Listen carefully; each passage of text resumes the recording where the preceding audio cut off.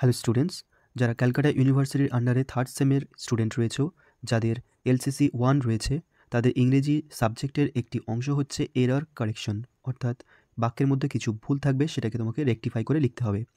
এর আগের কয়েকটি ভিডিওতে আমি সে সমস্ত টপিক নিয়ে আলোচনা করেছি, আজকে আরও বেশ কিছু এরর কারেকশন নিয়ে আলোচনা করব। আজকের ভিডিওটি পার্ট ওয়ান এখানে দশটি ইম্পর্ট্যান্ট এরর কারেকশন নিয়ে ডিসকাশন রয়েছে। প্রথম প্রশ্ন রয়েছে ম্যাথামেটিক্স ইজ ডিফারেন্ট সাবজেক্ট এখানে সঠিক উত্তর হবে mathematics is a different subject এখানে আর্টিকেল এ মিসিং ছিল। আর্টিকেলের কাজ কি? এ অ্যান্ড দ্য এই তিনটি আর্টিকেল এদের কাজ হচ্ছে কোনো নাউনকে স্পেসিফাই করা। এরা ডিটারমিনার হিসাবে কাজ করে। নেক্সট কোয়েশ্চেন আছে I have many works to do এখানে ভুল হচ্ছে ওয়ার্কটা আনকাউন্টেবল নাউন টাস্ক কাউন্টেবল হলেও ওয়ার্ক ওয়ার্কস হয় না। এর সঠিক উত্তর হচ্ছে I have many work to do next question in this hostel I have fooding and lodging খুবই কমন একটা ভুল, প্রায় অনেক পরীক্ষাতেই দেখতে পাওয়া যায়। ফুডিং এবং লজিং এই দুটো শব্দের মধ্যে লজিং কথাটা ঠিক আছে, থাকার ব্যবস্থা, কিন্তু ফুড এটা ফুডিং আইএনজি হয় না। তো সঠিক উত্তর হচ্ছে in this hostel I have food and lodging শুনতে খুব ভালো লাগলেও এটা কিন্তু ভুল। Question number four he is died সে হয় মারা গিয়েছে। এটা একদমই ভুল। এটা ভার্ব হিসেবে ব্যবহার করা হয়েছে এখানে। ডাই মানে মারা যাওয়া, আর ডেড মানে হচ্ছে এটা অ্যাডজেক্টিভ যেমন he is a dead man তো কেমন মানুষ? ডেড এটা অ্যাডজেক্টিভ হিসেবে কাজ করছে, এখানে আমাদের প্রয়োজন। হি ইজ ডেড এই ডেড কথাটা প্রয়োজন। তার কারণ, এখানে সাবজেক্ট কমপ্লিমেন্ট হিসেবে অ্যাডজেক্টিভই কাজ করতে পারে। The clock struck four hours ঘড়িতে চারটে বাজলো। এর সঠিক উত্তর হবে the clock struck for four hours for প্রিপোজিশনটা এখানে ব্যবহার করতে হবে। এর পরের প্রশ্ন রয়েছে this is the best book of the two দুটো বইয়ের মধ্যে এটা সবচেয়ে ভালো বই, এটা বলার চেষ্টা করা হচ্ছে। এর সঠিক উত্তর হবে this is the better book of the two দুটো বইয়ের মধ্যে এটা বেশি ভালো।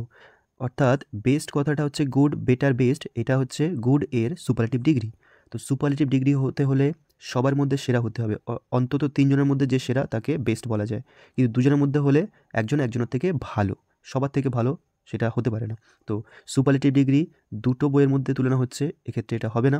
তো এখানে হবে comparative degree this is the better of the two দুটোর মধ্যে বেটার একটা।